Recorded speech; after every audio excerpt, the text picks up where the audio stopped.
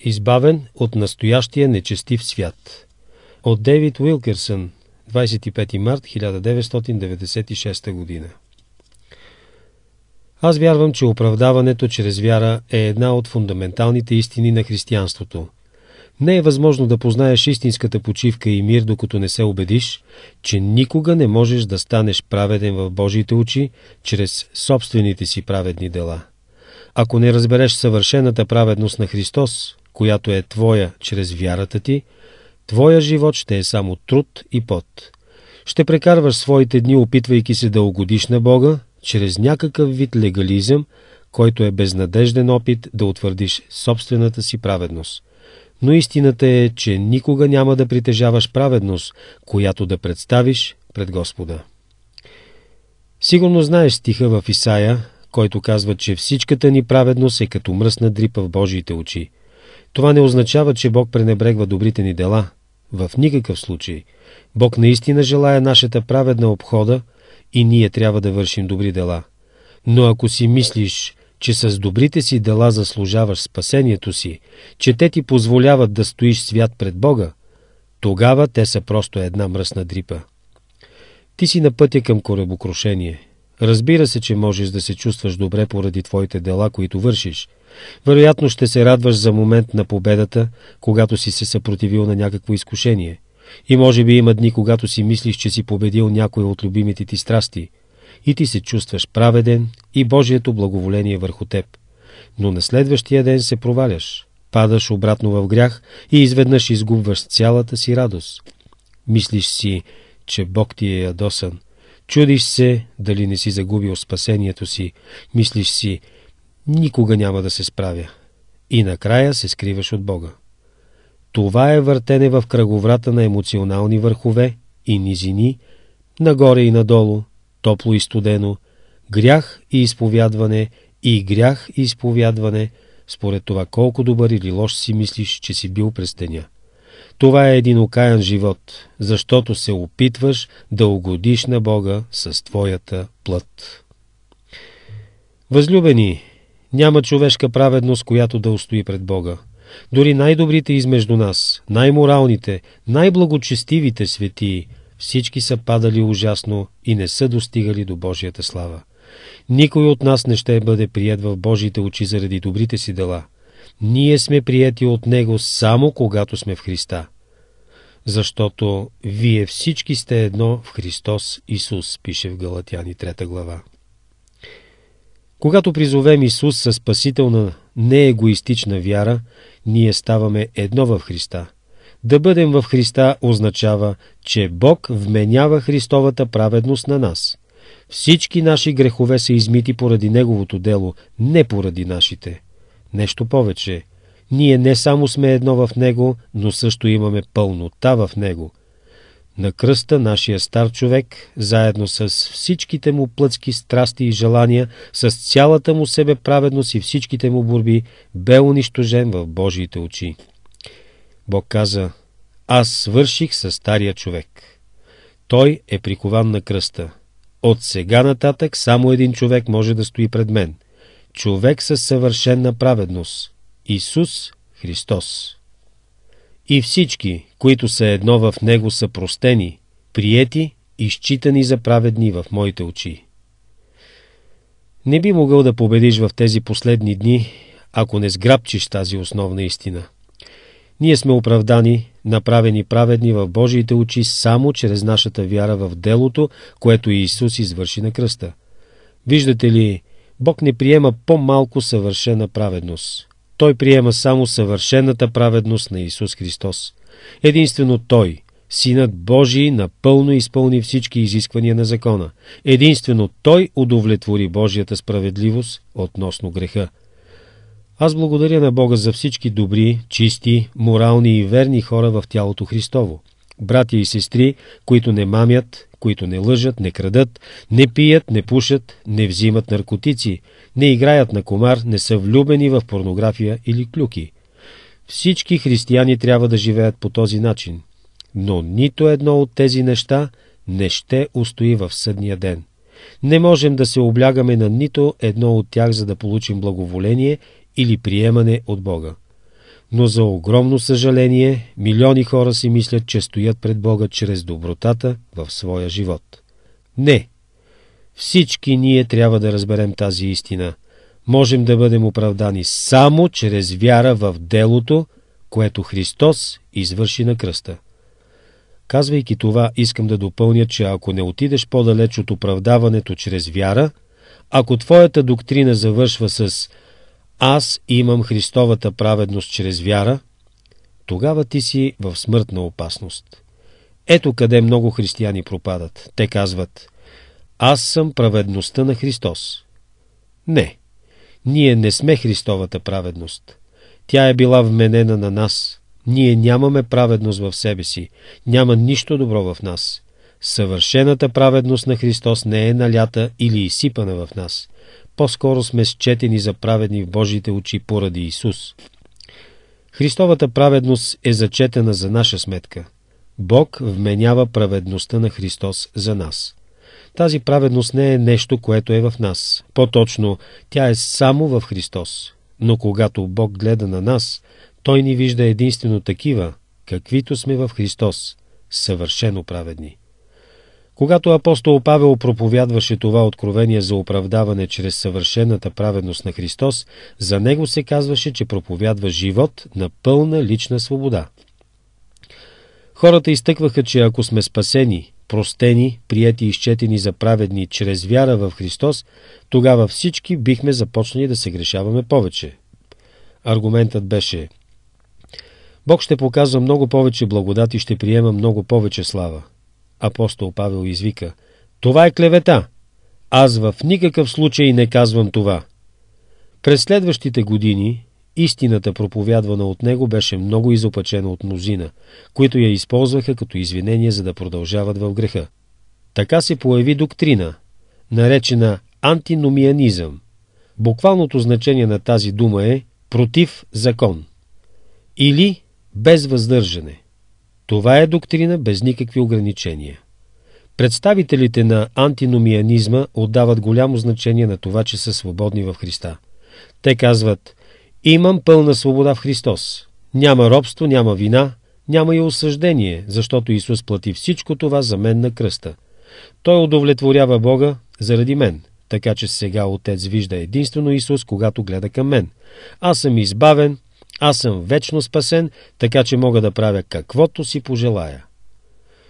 Един от водещите учители на тази доктрина бил доктор Крисп.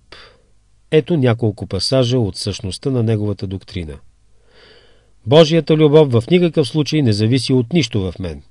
Така тя не се променя съразмерно с степента на моя грях. Затова, когато се греша, например, чрез прелюбодейство или убийство, Бог винаги ме счита като едно с Неговия син, който има пълната праведност заради мен. И както Неговото благоволение винаги към Него, така е и към мен, защото аз съм кост от коста му и плът от плътта му. Няма разстояния, които да не мога да премина, нито дълбочини, в които да падна без да му се греша. Както стори Давид, който въпреки повторните си отстъпничества не загуби своя характер на човек по Божието сърце. Аз мога да убивам заедно с него, да се покланям на Астартите, заедно с Соломон, да се отричам от Христос, заедно с Петър, да ограбвам заедно с Унисим, да извършвам кръвосмешение, както коринтияните, без да загубя нито Божието благоволение, нито Божието царство. Исус Христос ме усъвършенства с един принос, като съм осветен във всичките мои грехове. В Него имам пълнота, всред всичките си беззакония. Вярвам, че Бог ще отмени греха ми, независимо дали е прелюбодейство, убийство или кръвосмешение, за Негова слава и за мое добро. Доктрината на антиномианизма звучи отблъскващо за всеки истински вярващ. Но християнството днес е изобилстващо с хора, живеещи в точно този вид глупашки рай, нереално щастие. Те претендират, че са станали Христовата праведност. Хвалят се, че са вечно изкупени, но никога не са изоставили своите грехове. Те пият, пушат, пируват, спят с кого ли не и в същото време казват «Аз съм спасен, защото и Исус е моята праведност». Всичко е уредено чрез вяра, така че няма значение какво правя. Но такива хора са поробени от стария си разврат. те все още са в света, живеейки в удоволствия, покварени от духа на този век, заслепени и мамени от греха. И наистина, много християни слушат проповядване за благодата, проповеди за съвършената праведност на Христос, достъпна чрез вяра и все пак това им дава грешно чувство на отеха. Те продължават в своя грях, казвайки си, може би моят грях не е толкова лош, защото може би Исус е моята праведност до такава степен, че Бог ще пренебрегне лошите ми дела. Не. Такива хора са оскърбили Божията благодат. Апостол Павел казва, че са злоупотребили с посланието на благодатта. Рискът при проповядването на благодатта е, че хората може да злоупотребят с нея, така както се е случило при апостол Павел. Някои хора започнали да се правят неверни изводи, че колкото повече грешим, толкова по-силно Божията благодат може да се изявява в нас. Доктрина като тази е опасна, защото пропуска нещо жизнено важно, нещо централно за Евангелието. Нека ви дам същността на истинското послание за благодатта. То не е едно разюздано Евангелие, а онова, което ни учи на святост защото се яви Божията благодат, спасителна за всички човеци, като ни учи да отхвърлим нечестието и светските похоти, да живеем целомъдрено, праведно и благочестиво в сегашния век и да очакваме да се сбъдне блажената надежда и да се яви славата на великия Бог и Спасител наш и Исус Христос. Четем в Тит, 2 глава. Според апостол Павел ние не ходим в благодат, докато не сме се отделили от растлението в света. Ако не се стараем чрез силата на Святия Дух да водим благочестив и праведен живот, очаквайки Господното завръщане във всеки наш ден, тогава наистина не познаваме Божията благодат. Мнозинството християни искат прошка, но това е всичко. Те не желаят да бъдат освободени от настоящия свят, защото го обичат. Те се вързани за греховете си, без да искат да се откажат от удоволствията на този свят. Така, че те се прилепват към доктрина, която казва «Мога да живея както си искам до тогава, докато казвам «Аз вярвам». Те не искат да слушат за подчинение, покаяние, себеотричане, носене на кръста си, вземане върху си игото или бремето на Христос. По-скоро биха живяли на този свят без никакви ограничения, мислейки си, че имат Спасител, който ще им прости всичко накрая. Те искат в съдния ден да бъдат извинени всичките им беззакония, просто да бъдат пренебрегнати. Очакват Исус да отвори бисерните порти, да ги прегърне и да ги поведе по златната улица към запазените за тях къщи, въпреки че никога не са скъсали с духа на този свят. Апостол Павел пише «И не дейте се съобразява с този свят, но преобразявайте се чрез обновяването на ума си, за да познаете от опит, що е Божията воля, това, което е добро, благоугодно нему и съвършено. Четем в 12 глава в посланието до римляните. Виждате ли, Исус ни оправдава чрез вяра с определена цел – да ни удързости и да ни даде власт да се противим на дявола и да побеждаваме света в силата на Божия дух. Да, Исус умря за нас, за да имаме вечен живот, което е наистина чудесно, но също умря и за да се радваме на свободата си от нашия нечестив свят. В първа глава на посланието до Галатяни четем Благодат и мир да бъде на вас от Бога Отца и от нашия Господ Исус Христос, който даде себе си за нашите грехове, за да ни избави от настоящия нечи свят според волята на нашия Бог и Отец. А във втора глава на посланието до Тит четем – който даде себе си за нас, за да ни изкупи от всяко беззаконие и очисти за себе си люде, за свое притежание, ревностни за добри дела. Един стар теологичен въпрос днес все още буди интерес. Той е каква е Божията част в нашето спасение и каква е нашата? Това е въпросът, който поставя вярата срещу делата. Едната школа, наречена калвинизъм, казва, че делото на Христос е завършено, така че не се изискват никакви допълнителни дела. Другият лагер, наречен арминианизъм, казва, че сме оправдани така, че можем да вършим добри дела чрез силата на Святия Дух. Едната страна цитира Галатяни, заявявайки Апостол Павел казва, че Евангелието е само чрез вяра, без дела. А другата страна посочва апостол Яков, казвайки Апостол Яков твърди, че вяра без дела е мъртва. Ние трябва да дадем изява на вярата ни в нашите действия. В действителност и двете позиции са прави. Няма никакво противоречие между тях. Ето какво се казва всъщност. Делата не ще оправдаят или заслужат спасение за никой. И второ, тези, които са ревностни да вършат добри дела, доказват, че имат онази вяра, която ни оправдава. Това са две чудесни, даващи живот библейски истини относно природата на вярата. Но истината е, че не всяка вяра носи оправдание. Не всяка вяра е вяра, която спасява. Нека да ви обясня. Откакто църквата на Таймс Скуер беше основана преди 9 години, хиляди са излизали напред, заставали са пред ултара, молили са се с молитва за прощение, казвайки «Господи, аз вярвам, спаси ме!» Но повечето от тях се върнаха на местата си и по домовете си не спасени. Те се връщаха, оставайки в същото състояние, в което бяха дошли. Много християни казват, че вярват в оправданието чрез вяра – но самото казване на думите «Аз вярвам» не ги оправдава. При все това, Библията казва, че демоните и вярват и треперят. Такива хора не са донесли пред Господа спасителна, искрена вяра. Ако трябваше да излезете на улицата и да запитате случайни хора, вярвате ли, че Исус е Божият син, че дойде да служи на света, че беше разпънат и възкресен, голяма част от тях биха отговорили да, аз вярвам, аз всичко това вярвам но те не са спасени. Даването само на умствено съгласие с тези неща не представлява спасителна вяра. Това не е вяра, която оправдава. Църквата на Исус Христос отчаиващо се нуждае от обикновено говорене за вяра. Просто сме твърде запалени за нея. Предлагаме вяра на хора, които не са готови за нея. Представяме я сякаш ще първата вноска за една нова кола. Правейки това, ние принизяваме вярата до нещо не по-стойностно от награда в котия от кракер Джак.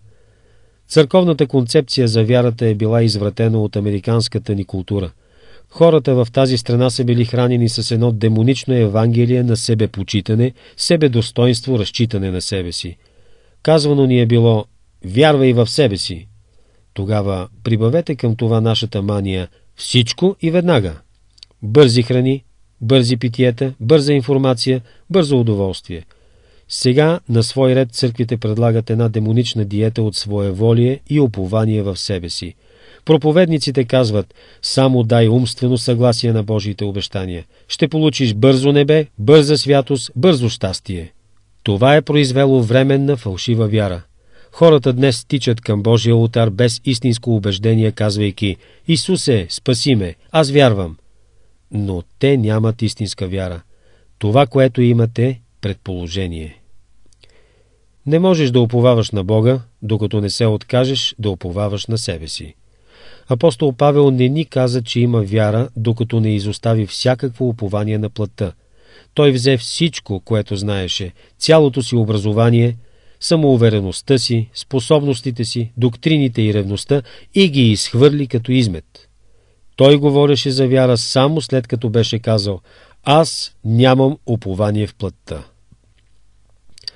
Същото е вярно и за нас. Ние нямаме спасителна вяра, докато не повярваме, че освен Исус, никой друг не може да ни спаси. Но преди някой да е способен на истинска вяра, той трябва да е стигнал до разбирането, че е загубен, че е безпомощен и че е в напълно безнадежно състояние.